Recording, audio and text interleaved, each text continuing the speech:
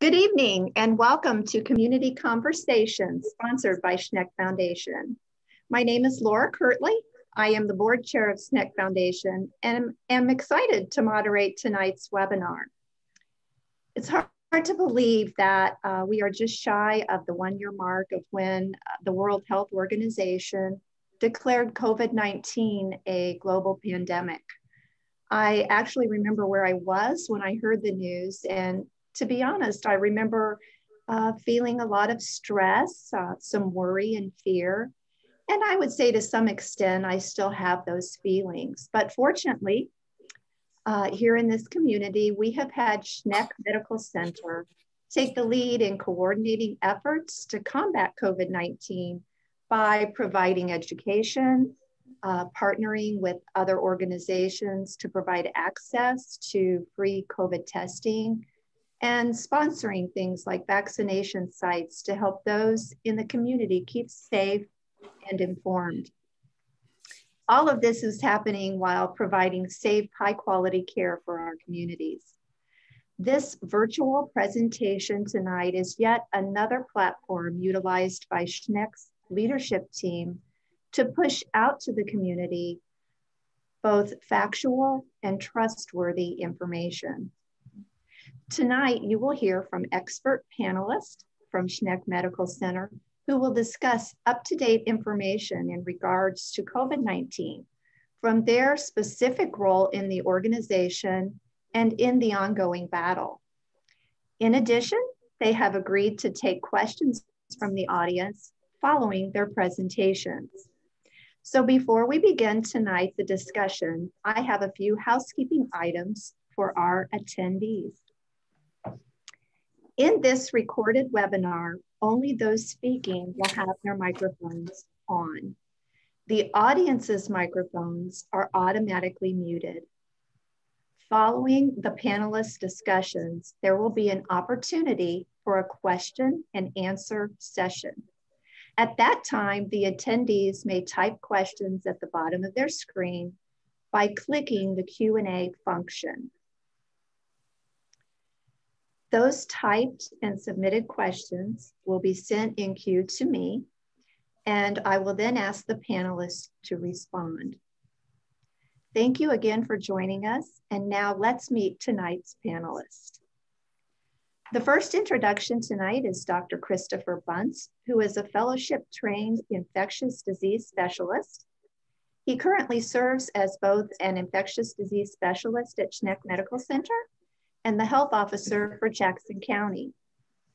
Also with us tonight is Dr. Ryan Stone, who is the Chief Medical Officer at Schneck Medical Center and serves as a hospitalist specializing in both internal medicine and pediatrics. Finally, our third panelist is Dr. Eric Fish, who is the president and CEO of Schneck Medical Center, having taken the helm in August of 2020. We are very fortunate to have him in this role and grateful to have him kick off our discussion tonight by providing hospital updates for our community. Dr. Fish? Thank you, Laura. Um, I just want to thank everyone for being on the call this evening for the foundation of uh, organizing this and and Dr. Bunce and Dr. Stone for taking time out of their evening to, as Laura said, provide up to date factual information uh, on COVID 19 and as well as the vaccine and the treatment options and, and, and, and of such. Uh, as Laura said, it's hard to believe it's been nearly a year since COVID uh, appeared within our state, within our community. And uh, it's been a long year. it's been a difficult year for everyone uh, within our community uh, and within our healthcare system. Um, but you know, I just could not be more proud of how our team members at Schneck uh, and our community has responded uh, to this pandemic. Um, you know, early on, uh, things were changing uh, by the hour or by the minute. Uh, I know at the hospital we began in in March of restricting visitors and shutting down entrances um, and, and probably one of the hardest things we had to do was restrict visitors uh, because how, how important visitors are uh, to patients when they're in a hospital. And those are decisions we did not take lightly and still today don't take lightly. Um, as that is, um, you know, we've had loved ones um, pass away um, without their family by their side, and that, and that's and that is a very tough uh, situation, especially on our staff. But but our staff has responded uh, very strongly. Uh, it's been very very exciting for me as uh, in my seat to watch how uh, our staff have bound together and uh, got through this. There, were, there have been some situations where um, our staffing was low due to COVID, that we had patients, um, you know, pretty much at capacity, and we had staff jumping and helping others uh, and bonding together to to get through this as a community. And so that's that's been something that has been very warming to me as the as the president and CEO of the organization. I think the other thing has been very good is um, what Schneck has done is what we should do. We should be the leader in the community uh, on healthcare and healthcare issues. And I think we've risen to that occasion. And I know uh, Dr. Bunce and I, uh, early on in um, April, May, began having community calls uh, whereby we brought the school systems, uh, the churches, industry, a uh, number of employers, the county, North Vernon, mayor's office, the Vernon mayor's office, uh, on a weekly update. Uh, and we were able to disseminate information exactly what was happening in the community and get information to these organizations, to these groups uh, that helped, uh, I think, guide individuals and guide employers through uh, the COVID 19 situation. We're still doing those. We did take a little break early uh, in the fall because numbers began to drop. But as uh, things came back in October and November, uh, we did kick those back up. Now we're about to about every two weeks now. But it's been a really good way to share information and get updates to our to our community.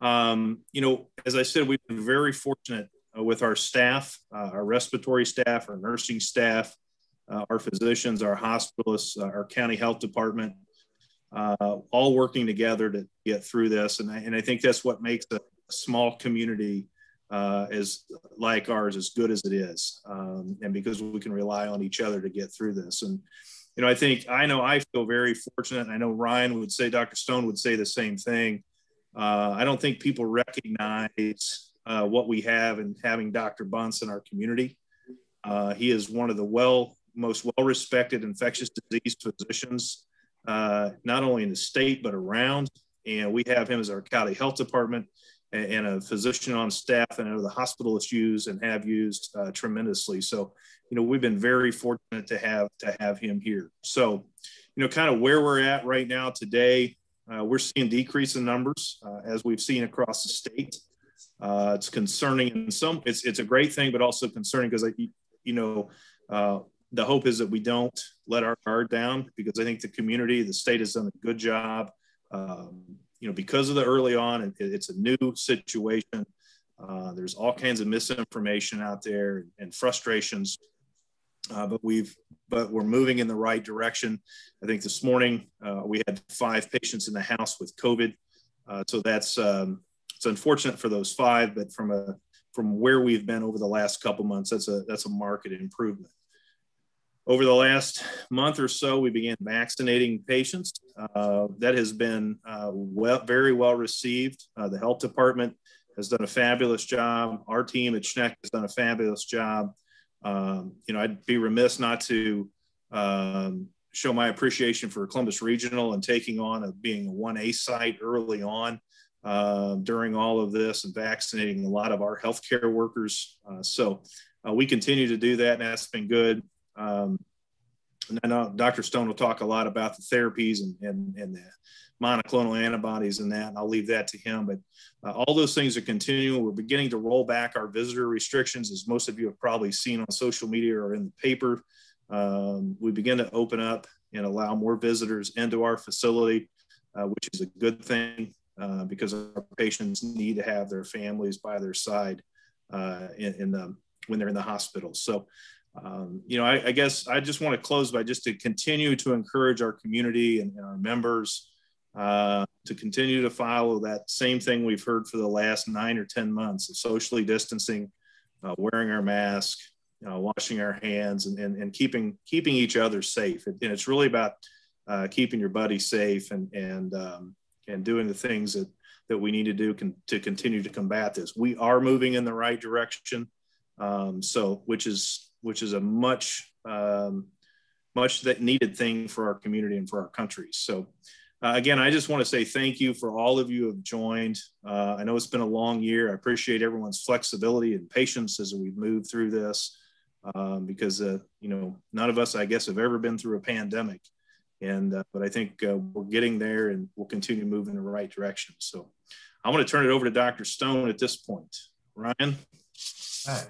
Uh, thank you, Dr. Fish, and thank you to the foundation for uh, organizing this webinar and uh, giving us uh, an opportunity to uh, speak with you guys tonight. Um, as Laura said, uh, kind of kicking things off, it's it's been a long year, um, and we've we've kind of come a long way. If you'll remember, um, back in January of 2020, that's when the first case was diagnosed here in the United States, um, and I stepped into the CMO role at uh, on the 1st of March of 2020. Um, and little did I know that um, about uh, four or five days later, um, we'd have our first case of COVID in the state of Indiana. And we really kind of kicked it into high gear at that time, uh, looking at uh, protocols and what we were going to be doing to take care of our community and the patients that we were going to uh, uh, undoubtedly see. Um, and that first patient um, uh, came into to Schneck on March 14th of last year. So just uh, almost a, a, year ago um, uh, and, about a week or so. Um, and since then, it's been uh, a whirlwind. Uh, we have seen um, uh, about 200, just over 300 cases of COVID-19 since the beginning. Um, and so um, some of those have been very sick, requiring lots of care in the intensive care unit. Um, uh, all the way down to kind of mild cases that did require hospitalization. Um, so that, that's a um, pretty big feat for uh, a small hospital like uh, we have here in, uh, in Schneck. And uh, one of the things that I like to uh, tell my friends that live in the bigger cities is that um, I, I, can still um, provide the, the big town, big city medicine here in our small rural community hospital.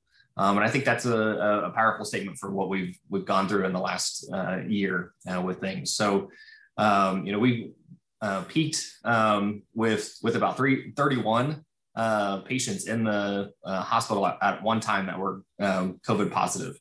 Um, and um, as Dr. Fish alluded to, we're down to five patients currently in the hospital at one time with COVID. So uh, that's a that's a big swing. Uh, the nice thing that currently we don't have anybody that is requiring any intensive care um, or um, uh, mechanical ventilation um, for their COVID. Um, that always can change at the drop of a hat, but um, we currently are lucky enough that um, all of our cases are currently kind of uh, moderately sick, so uh, not requiring the intensive care unit. So one of the questions that's been asked of us is really kind of what what happens when a patient is admitted uh, with COVID, and it really depends on how sick they are. Um, unfortunately, um, COVID um, the COVID patients that I have seen as a hospitalist are typically those sicker patients that are requiring oxygen or uh, other respiratory support.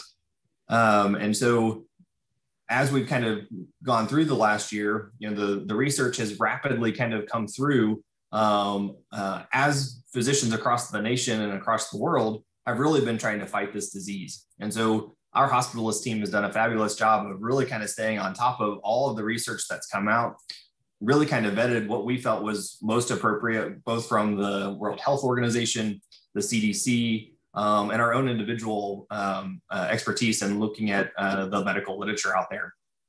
And we have used Dr. Bunce immensely. He's probably ready to throw his phone out the window multiple times since we oh. uh, we call him routine routinely um, uh, to to really kind of bounce ideas off of each other to to really make sure that we're giving our community and our patients the best care possible. Most of the time, when a patient comes into the hospital and requires hospitalization for COVID, um, we kind of have two main drugs that we're using to, to treat uh, the coronavirus. One is a steroid called dexamethasone, and that medicine we're using to try to decrease the inflammatory response that the body sees because of COVID. Um, and uh, that medication uh, can be transitioned to a pill form um, and, and discharged uh, with a patient if they're uh, stable enough to do so. The second medication that is very common that we're using is remdesivir. Um, it's an antiviral medication that actually, um, uh, Dr. Bunce can correct me if I'm uh, wrong about this, but was initially uh, made for the fight against Ebola um, um a couple years ago. Um, and then early on in the, the COVID fight um, was looked at as a, a potential uh, player in, in the treatment. And we felt that um, uh, it was something that we wanted to incorporate into our, our treatment plan. And so um, we have continued that um, uh, through um, this whole year. Um, in addition to those medications, sometimes patients also need antibiotics. And so that's really just a case by case determination of whether or not the patient shows any signs of a bacterial infection um, that they would benefit from that uh, added medication. Um, it's not uncommon, unfortunately, to have uh, a severe case of uh, the coronavirus that causes um, one to be more susceptible to having a, a, super infection on top of the coronavirus. And so that's when those patients would require that uh, antibiotic. Now, obviously, um, the, the reason that we get concerned about the coronavirus is because this usually affects um, uh, patients that already have other comorbidities or other sicknesses or illnesses that they chronically have um, that increases the chance for um, uh, uh, complications from the coronavirus. And unfortunately, that oftentimes means that these patients end up um, very sick from a respiratory standpoint, requiring um, high settings on oxygen um, and ultimately may end up leading to a, a, mechanical ventilation or being put on the ventilator. and so these patients typically, once they get to the point of needing uh, a ventilator, typically are on the ventilator for several days. Um, I think the longest that we had a patient on the, the ventilator was up to two weeks um, before we were able to kind of make some uh, adjustments. And so um, a very long stay for uh, patients that have been on the, uh, the ventilator. Again, thankfully, we are currently in a, a downward trend um, that we don't have anybody currently needing those uh, intensive services um, and are just currently re uh, requiring uh, a mild amount of oxygen um, and the remdesivir and dexamethasone um, uh, treatments. You may have heard um, in, in, the news and, and talked with other folks um, about, you know, how does this affect pediatrics? I'm a pediatrician as well as an internal medicine doctor, and uh, we have been lucky enough at Schneck that we haven't actually seen any pediatric patients come across that have uh, developed the um, the concerning uh, response um, uh, known as um, multi-system inflammatory syndrome in kids or MISC. Um, we certainly have had some children that have had the coronavirus, um, but luckily most of the cases that we've seen in pediatrics have been very, very mild uh, uh, symptoms. Most of the time it's um, no different than what we would see with kind of the common cold uh, symptoms. Now that's not to say that um, uh, that one uh, kid out there um, may not be the, the one that develops um, MISC, um, but it is very rare. Um, and and my um, reading of what um, my pediatric colleagues are seeing in their intensive care units, uh, from what I'm seeing in my adult ICU, it's a very similar uh, inflammatory response. and so it, it, it, does seem to be a, a pretty similar uh, inflammatory response between adults and kids in that severe uh, illness stage. Um, Dr. Uh, Fish had uh, spoke a little bit about the monoclonal antibody uh, therapy. And so um, um, in November, um, you heard a lot of talk about the monoclonal antibodies. Um, uh, that really stemmed from uh, when President Trump was hospitalized with his coronavirus um, he was given a, a, monoclonal antibody called Regeneron. Um, and that really kind of increased the, the public awareness of that uh, treatment option. And uh, the end of November, the beginning of December is when that became available for uh, hospitals and uh, infusion centers to be able to um, uh, provide to patients. And again, we went back through the, the, um, the emergency use, use authorization, the research that's been out there, um, and felt like it was an appropriate medication that we uh, would be able to provide to our, our patients. And so kind of the beginning of December, we started um, uh, treating patients based on the emergency use authorization. That meant that if your patient had um, oxygen requirement, required a hospitalization, um, or had an increased oxygen requirement from their baseline, they did not qualify for that medication. So that kind of complicated things a little bit. However, it now gave us an opportunity to treat patients that had more mild disease and hopefully decrease the chance of more complications that would lead us uh, to, to further hospitalizations down the road. Um, and I, am a firm believer, and I know Dr. Fish and I have had this conversation before, that we really believe that the, the use that we saw from uh, December and January of the monoclonal therapy really helped to decrease our hospitalization rate um, uh, at, at. Um, and so um, we have continued to do those um, uh, infusions. The infusion that we most commonly use at Schneck is called bamlanivimab. That medication is um, uh, produced by Eli Lilly, um, so an Indiana company. Um, and uh, it is a pretty uh, simple um, uh, procedure. Um, the patient has to be tested positive for COVID within uh, a 10 day period. Um, to be able to be eligible for that medication, they have to be uh, within certain age requirements or have other um, coexisting conditions uh, that qualifies them for that medication. Once they're qualified for that medication and they're symptomatic, um, not requiring hospital stay, um, then we can uh, get them scheduled in our infusion center uh, for that medication. It's about a 15 minute uh, infusion at this point. Um, the whole process, kind of start to finish, when the, the patient shows up, is about an hour to two hours um, to get the medication, or, sorry, get registered, get the medication, and then we have to do about an hour worth of um, uh, follow up or, or, kind of watching for any um, um, adverse reactions or anything like that. Thankfully, we really haven't had any um, uh, significant uh, complications or reactions to the medication. it's been pretty well tolerated. Um, there have been just a few uh, instances, uh, I think two that I'm aware of, that um, did require uh, uh an ER visit uh, subsequent to that. Um, but it was those patients were also later on their course of uh, the coronavirus um, in those particular cases. So um, the the corona, the, sorry, the um, monoclonal therapies are certainly still available. and we do encourage patients in the community that if you test positive for COVID, um, to discuss that with your um, primary care doctor um, uh, as a possible uh, treatment option for you to try to decrease the chance for further complications um, from the coronavirus. The last thing I want to kind of talk about um, uh, briefly um, that we're currently doing that uh, was also mentioned before is the COVID vaccine. I'm a big vaccination uh, proponent. I think that in, in all of medicine, I'm most impressed with vaccinations. And I think I share that uh, um, with Dr. Bunce. Um, I think that's one of the biggest things as a pediatrician um, that I can do to help protect my, my patients. Um, and in this, in the current setting with the pandemic, um, this is one of the best things that I have prayed for um, to be able to help protect our communities. And we actually finally have that opportunity. and so we have been very aggressively trying to get the vaccine out. Um, uh, at Schneck. I know the, the health department has been doing the same thing um, with the assistance of the Indiana State Health Department. We currently at Schneck have only been giving the Moderna vaccine. Um, that's what the, the state has been allotting uh, to us. Um, and so uh, we uh, continue to do that uh, at this point. Um, you'll note that the Johnson & Johnson uh, vaccine was just approved here in the last couple of days. Uh, we do anticipate that the uh, state will have some vaccine uh, from there. And there was just a, a recent announcement today um, about that and how the state kind of plans to use the, the Johnson & Johnson um, uh, vaccine um, with some kind of mass um, vaccination sites.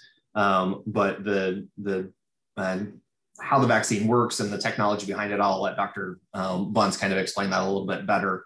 Um, but we do um, kind of follow the, the guidelines that the State Health Department has put out on who actually qualifies for a vaccine. Um, so um, whatever the, the state health department is, is um, publicizing for their um, catchment area, we're currently at the age of 55 and above um, is the, the current um, uh, age cutoff. So we certainly encourage anybody that, that meets that criteria to, to sign up to, to be uh, vaccinated.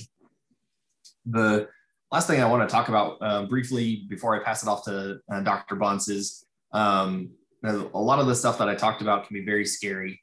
Um, and, and we have seen um, as uh, physicians in our community um, that patients really have tried to not per, uh, follow up with their normal routine health maintenance um, uh, things. And, and we really want to encourage you that um, uh, we are open for business. We want to make sure that you are healthy. We want to join you in that um, uh, journey to health. Um, and we want to make sure that everybody's uh, staying up to date with their health maintenance. So if you know you're scheduled to, to follow up with your primary care doctor or you haven't made that follow up, um, please call and schedule that uh, as soon as possible. We want to make sure that um, this pandemic is not further um, impacting our health down the road.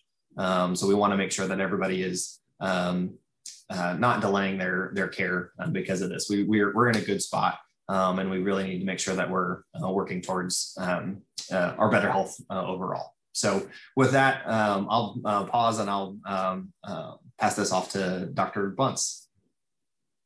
Well, thank you. I'd like to start by thanking the foundation for inviting me to this conversation tonight and sharing some information with, with everyone who's interested in answering your questions. Um, uh, I'd like to start with a little bit of the public health, give you some numbers, um, and then transition into talking a little bit about the vaccine, and then finish up with a little bit of myth busting about uh, vaccination uh, that we're hearing in the community. Um, first of all, I'll start with the numbers. We've had about 4,650 cases in Jackson County and 67 deaths. Well, what does that mean?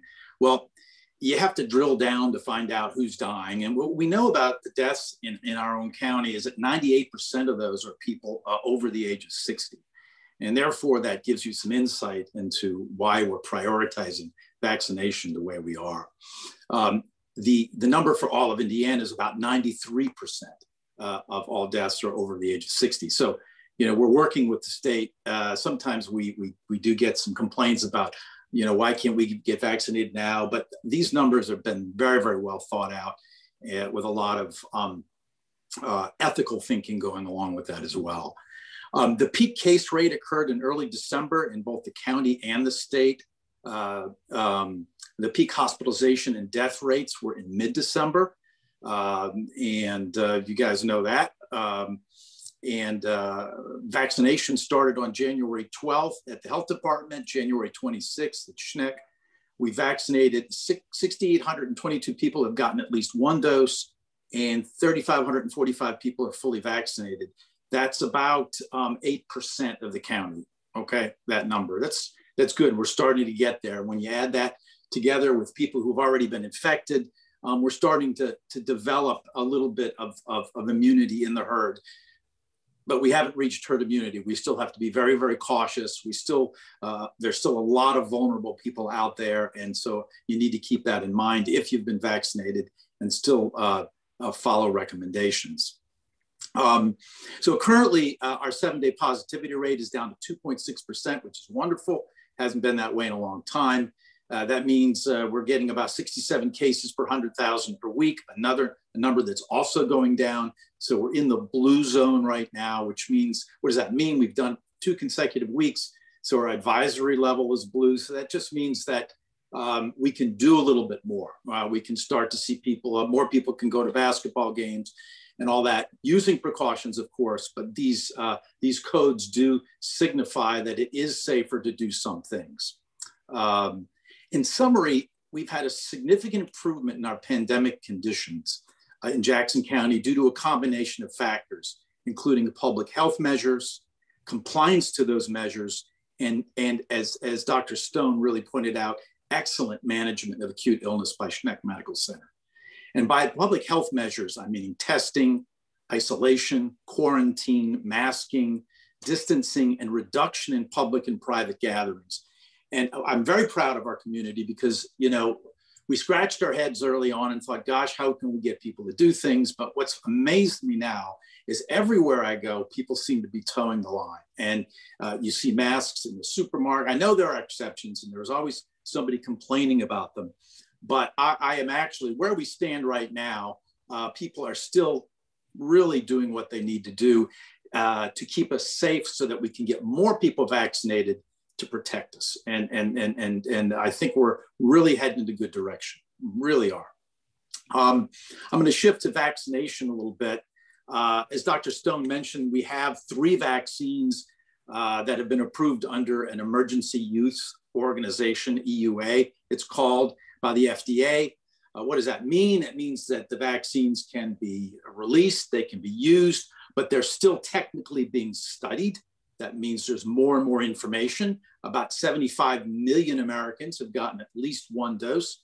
Um, about uh, 25 million people have gotten fully vaccinated. So that's a far cry from the two trials of 30,000 that started this out. So we are gathering oodles and oodles of safety data now. And what we're learning is these vaccines seem to be very, very safe. And we'll talk more about that in a minute. Um, the Pfizer and the Moderna vaccines are very similar. They're called messenger RNA vaccines. All they do is there's a little little uh, lipid ball that goes in. It's a little injection, and what they do is it provides instructions. The cells in your body will make the spike protein. Your your immune system reacts naturally to that, and uh, you develop an immune reaction to a very critical part of the virus. Um, and uh, that allows you to, to, to prote be protected against the virus when you meet it in, in the real world. Um, so it's important is that you're not getting the virus. The virus is not even used to make the vaccine. It's just a tiny little molecule that teaches the body to do something that sets up a very natural immunologic uh, reaction. And that's the Pfizer and Moderna vaccines. Um, they are all for all purposes, they're equal. Um, they're equal in efficacy, about 95% effective. What does that mean?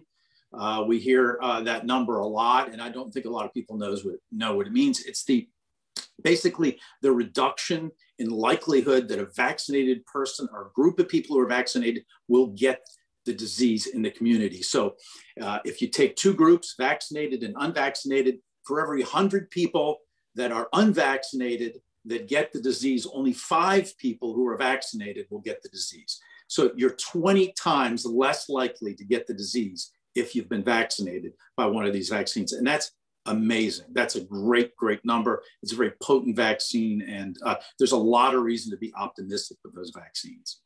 Um, um, there are two doses. That's the disadvantage. You have a, a, a primer dose and a booster dose. That's just the way some vaccines are and just makes your immune response that much more robust after you get that second dose. Um, um, and uh, the, the side effects so far have been quite mild, including pain in the arm. Some people feel fatigued and get a little fever, but generally these are have been very, very well tolerated, uh, as my colleagues would probably vouch for that.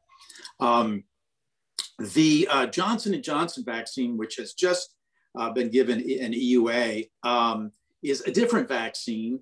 Um, it does essentially the same thing is that it induces the body to make the spike protein. Um, it does it in a slightly different way.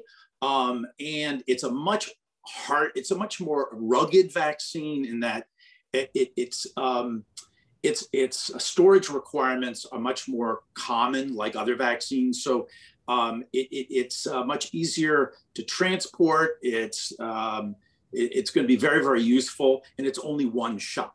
Um, now, there have been some concerns because it's only been quoted as being 72% efficacious uh, in the United States. That's still a darn good vaccine, and um, but it's 86% effective in preventing severe disease, and in fact, no hospitalizations or deaths occurred in the vaccinated group. So that just tells you that you know it's a very, very powerful vaccine and it's going to be particularly useful when we have to do mass vaccination with lots, you got to line a lot of people up and give them one shot, and you don't have to worry about that second shot. Some people say, well, I prefer 95% to 80, you know, 82%.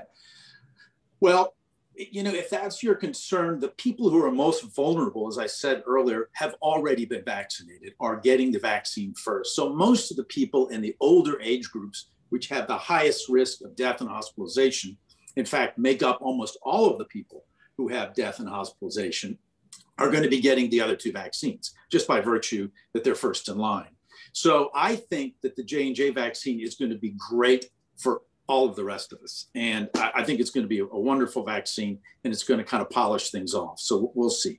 The other ones are going to be continue to be used in the general population, but we're going to have three vaccines. And I think that will uh, enable us to go a lot faster than we anticipated um, at the turn of the year. Um, I'm not going to go into any other real technical details on, on, on, the vaccine. I can, I can answer some of those questions. Uh, I would like to talk about uh, some of the myths that are uh, uh being um, oh, transmitted on social media and, and some anti-vaxxers and you know those who um, uh, tend to recurrently uh, um, draw suspicion and doubt to vaccinations. But I, I, put a little list here of the things that we're hearing.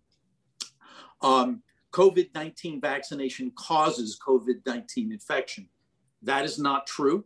Okay. There is no way that this particular vaccine can cause an infection. It's not even a virus itself, it's just a tiny little piece of a virus. It can't cause the spike protein causes no pathology in the body whatsoever. It just induces an immune reaction. Uh, COVID-19 uh, vaccine is not safe because it was rapidly developed and rapidly tested. I, I, like to argue against this one by showing that this was a prioritized effort. All of these companies dropped what they were doing. So this was not, yes, it happened quickly in an unprecedented quickly way, but it happened in a concentrated way. And all of the, the usual trials, animals, phase one, phase two, phase three that we do, and all other medications and vaccines uh, were used uh, in, in this process. So um, the safety data continues to look really good. We don't ever stop collecting safety data on vaccines. And um, if there are any concerns, those are certainly uh, going to come to the fore. And right now, these vaccines look really good.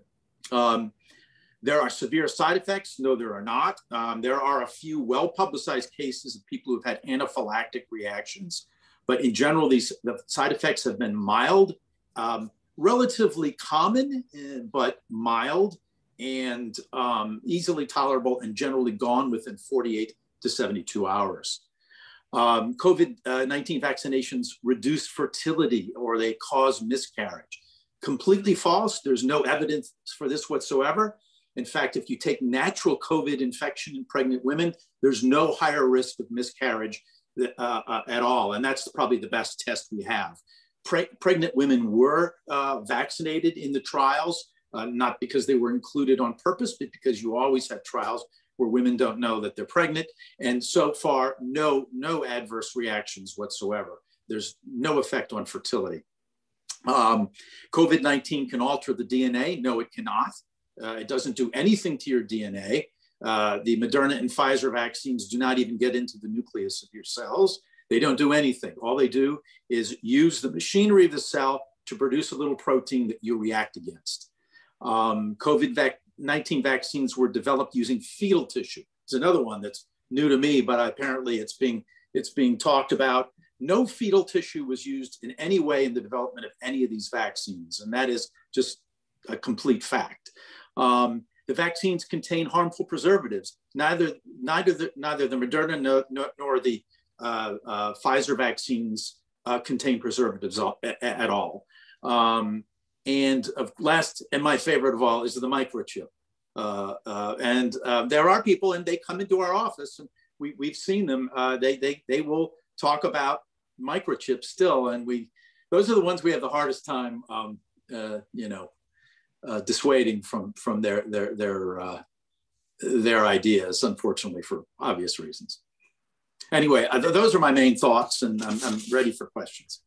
Hey, Chris, I knew that's how you're you're in your basement at your house because your microchip is in your arm. That's right. Yeah, I'm being I'm a, I'm, a, I'm being controlled.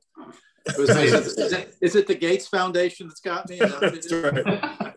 that's usually the same patients that have the cell phone in their hand that are telling you that they've yeah. been microchipped. Okay. thank you, doctors, actually, for sharing this important information. I think with the onslaught of news and information on the global pandemic, it can be challenging to know myths from facts in the general population. So we appreciate you helping us to understand what's happening and to kind of cut through the confusion. Um, if anyone in the audience at this time has a question that has not been answered during the webinar, please submit it now by typing your question using the Q&A function at the bottom of the screen. If the icons are not visible to you, you may need to hover over the lower part of your screen to locate the Q&A function. So please use this function and not the chat icon. There's a chat icon next to it, but we ask that you use the Q&A function. And I can see that we're gearing up already. And so I am going to uh, proceed with the questions. If I get the vaccine, can I be around everyone? Could I spread the virus or be a carrier? And do I still need to wear a mask? Dr. Bunce, would you answer that, please? Sure, I'd, I'd, have to. If you get the vaccine, you should still wear a mask. Okay, we don't know enough about how well the vaccine prevents you from transmitting the virus. The chances are, if you're vaccinated, you will not only not get disease, but you will not transmit it to others. We just don't have all of that information yet. Some of the vaccines show some promising data, but we don't have enough to make definitive conclusions. So we're asking people to, even if they're fully vaccinated, to still take the, the, precautions of wearing a mask, particularly when they go into a real crowded setting. I understand when if you're going to be with your family and your closest friends and you're not and you're all vaccinated, uh, that people are going to let their guard down. But I still think that if you go to a basketball game, if you go to a restaurant, if you do all those things, you have to show wear a, vax, a mask to be careful. And actually, you're still showing courtesy to other people who might be concerned if you're not wearing a mask. Thank you. Uh, one another question that I've gotten is, can I get a vaccine in a county that I don't reside? Absolutely. You can get a vaccine in a state where you don't reside. You can get a vaccine anywhere in the country you, you can get, there's no, there are no geographic barriers uh, to getting vaccinated. You do have to fulfill the criteria. And right now that's 55 and older uh, and or, or with medical conditions. Uh, so, so, um, uh, but, but you can go to another place. Yeah. If you're, it's, that's not a problem. Thank you. Is there a specific vaccine that might be best for people who have had COVID already and also the antibody therapy. Is the two dose vaccine best, or should these patients seek the Johnson & Johnson vaccine? Well, that's an excellent question. Uh, first of all, if you've gotten the antibody, you should wait 90 days before you get vaccinated. Okay. Secondly, there's very good data that's come out that if you have had COVID, you probably only need one dose of either the Moderna or the Pfizer vaccines. However, that is not official and it's not, uh, it's not something we recommend yet, but I think we're going to be getting there fairly soon. Um, and if you only want vaccine, you can go one, one shot, you can go ahead and get the J&J. So there's no known best vaccine for somebody who's had COVID. I think all three of them are going to be fine. You're going to get a good booster effect uh, from any one of them. Uh, this question is for Dr. Bunce specifically. Um, what about the vaccine and its effect on any variants? Well, um, right now we think that the vaccine, it, the, all three vaccines are effective against all of the variants that we've come across. There may be reduced effectiveness, but still, since we've got a 95% effective vaccine, we've got a lot of cushion there. One of the reasons that everybody's very uh, enthusiastic about the J&J vaccine is that it performed particularly well in South Africa, where this variant that seems to be more resistant to vaccination is occurring. Wasn't perfect, but it was still a really good vaccine for that variant. So um, we, we, uh, uh, we, we still think the vaccines are ahead of the curve. Uh, and the more people we get vaccinated faster, the less amount of virus there is in the community that's replicating and the lower the mutation rates are going to be. So we won't see many more of these variants, hopefully. Great. Since the positivity rate is measured by how many cases there are per 100,000 people, how is that measured when there are populations lower than that? It's extrapolated. So there's a factor. We only have 45,000 people in our county, but we can do, still do a rate per 100,000 because we can convert the denominator to 100,000 and then convert the numerator to 100,000. It's just simple math. It's a way to um, equalize populations in different areas with a one factor. And a lot of disease and epidemiology is calculated on a per 100,000 person rate. Murder rates are done that way too, not to bring up a bad subject. Um, Dr. Bunce, do you think that we will need another dose of the vaccine in the fall of 2021? Uh, you know, I mean, if you're fully vaccinated now, uh, I would say I'm gonna go out on a limb and say probably not, but I, I am I am perfectly willing to be corrected on that matter. I'll, I'll kind of piggyback off of that. Um, yeah. I I certainly hope that we don't have to uh, do a booster. The, the the hope would be that we don't have to, but um, uh, it certainly uh, um, it wouldn't surprise me if we do have to do a, a booster in the in the fall. Um, so I think it'll be uh, interesting to see kind of what the data ends up showing us moving forward over the next couple of months um, if, if we need to do that um, moving forward. But um, if we look at um, kind of influenza uh, H1N1, um, um, you know that that particular uh, vaccine was we ended up getting a booster that next year um, uh, with that, if I if I remember correctly. Yeah, and we're getting it every year. I mean, yeah. we're getting H1N1 boosters once a year now, so it's quite possible that that this vaccine will be a, a yearly recommendation, and every other year we, we just don't know yet. Yeah. Dr. Fish, this will be for you. Uh, what can the community do to continue to support the Schneck staff who I assume are continuing to recover from the events of the past few months? we want to support as we did early on. Yeah, I, you know, I was remiss in that. I, you know, the community did a wonderful job of supporting our staff and um, kids writing chalk messages on um, bringing in meals, people just donating meals. Um, I think Stone and I've laughed about the COVID 19 uh, weight gain that we might have had. uh, no, it, it, it was very nice. And I think the one thing that is huge in the community support uh, that I've heard from our staff is to what Chris has mentioned. We see now people wearing masks. We see people socially distancing and doing those things. And I think I think that is the as subtle as that can be. That is very powerful to the healthcare worker uh, who have been on that front line dealing with that when they go to when they go to a store or they go out in the community and somebody's complete disregard for the disease that they have been caring for um, day in and day out and been that love that been that patient's family um, you know I, I heard that a lot as i've walked the floors of our staff being angry when they've gone out uh, early on and say, you know, people don't think this is real. So I think what we have as a community have done and, and have adopted the, the masks and, and that, and it's so much better today than it was months ago.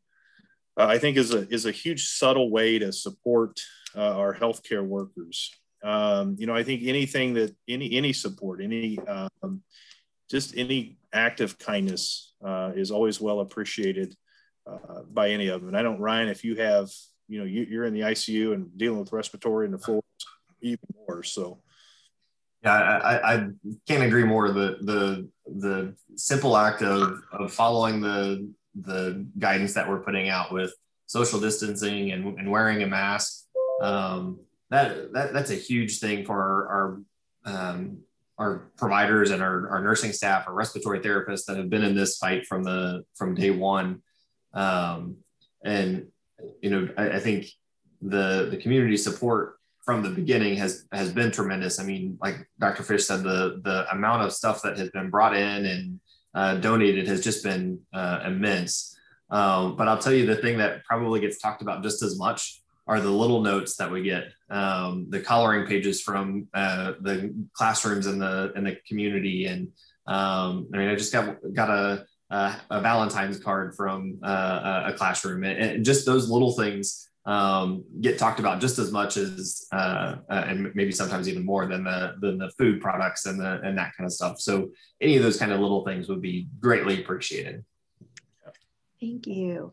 Um, this question I'm going to throw out, this is a big question here, and I'm not sure who would like to answer this, but uh, you talked a lot about the physical impacts of the disease COVID-19. What about the mental impacts of the disease? We are seeing an increase in people with overwhelming anxiety and depression. Has Schneck thought about how they can work with community leaders to help people who are almost paralyzed by fear to start to re-engage?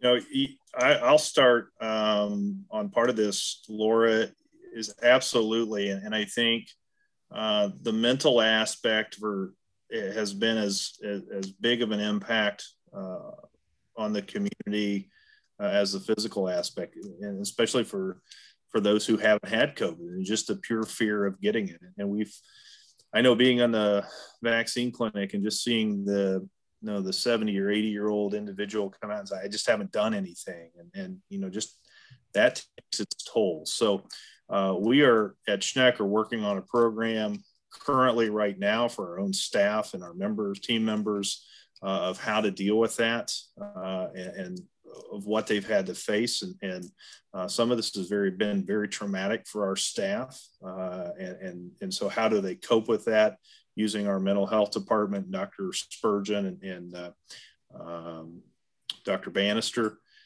And, you know, I, I, I, foresee us rolling more and more of that out to the community. Like we, you know, we're here to share the information as we have done over the last eight to nine months. Uh, I, I would fully expect we will do that with this um, because that is an important thing. Um, the, the fear is still very uh, prevalent uh, out there. Uh, but um, yeah, that that is something we are currently doing.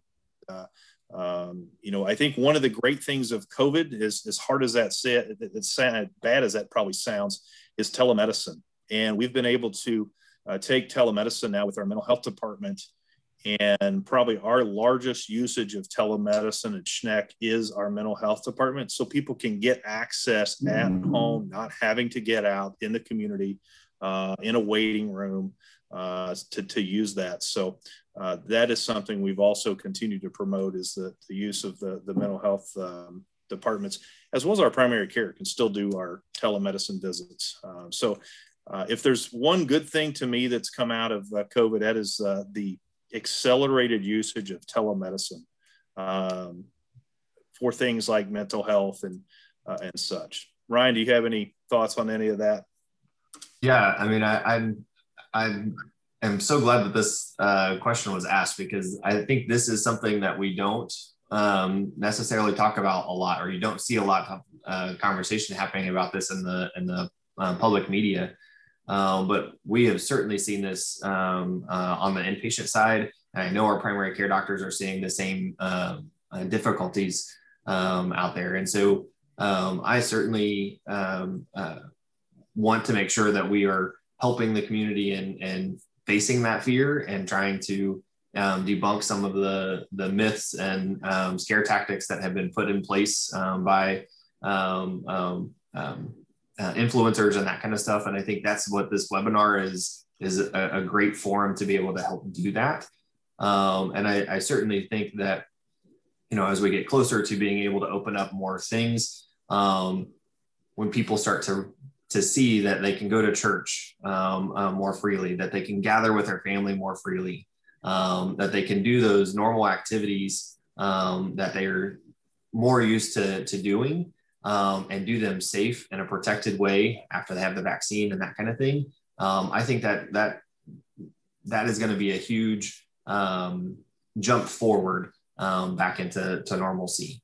I think if there are um, thoughts out there of you know where people in the community see that we may be able to plug in. I would love to to to hear those recommendations to to um, you know help to um, um, you know spur some of that because I, I do think that that's going to be a big thing moving forward in the next couple of months um, uh, as we kind of move forward. Thank you dr stone. Um, we have about four minutes left in our webinar tonight. It's gone very quickly. Um, I have one last question and I'd like to pose it to all three of the panelists.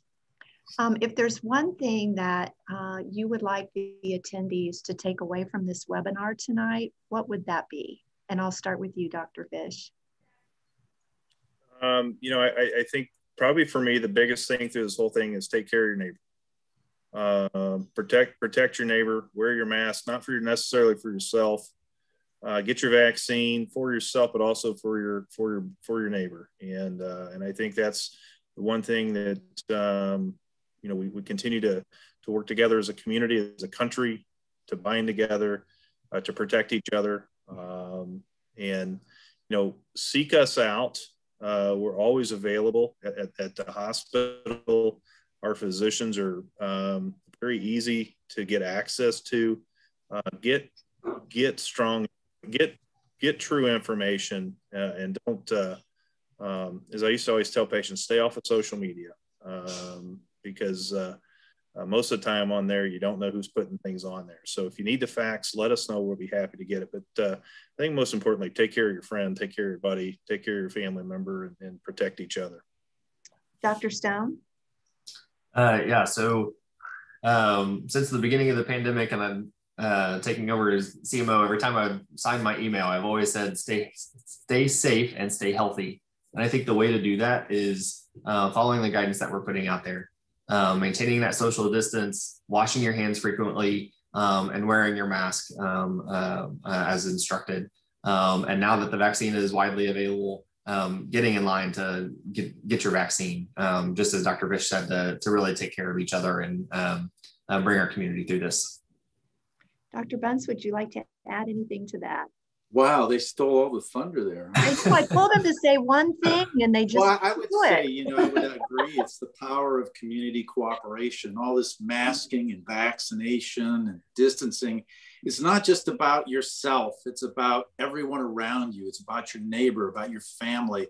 And i think we've learned a very valuable lesson here. Know every time someone says well i don't want a mask or i don't want to get it. I don't need a vaccine well you're, you're doing these things for other people not just yourself. And i really think the community has responded to that message. And I, look we're in blue right now not because of the vaccine. We're in blue because of how we all have worked together and and and you just see it all around in Jackson County right now. I mean, it, it, it is remarkable. I don't think in our lifetimes we're ever going to have another time where we see when we are have the the the the, the um, opportunity to work together as a community um, so thoroughly as we have in this uh, particular pandemic. So I, I, just think it's something we should all be proud of. Let's keep it up um, because uh, that's the only way we're going to keep the lid on all of this. And uh, but that those are my thoughts. Thank you so much. I'd like to take the opportunity to once again thank our panelists uh, for their time and their willingness to share uh, their knowledge and educate us with, with reliable, dependable, trustworthy information. Uh, thank you to the attendees for your participation as well. Um, Dr. Fish, you have about 10 seconds. If there's anything else you'd like to share with the group before we close our meeting.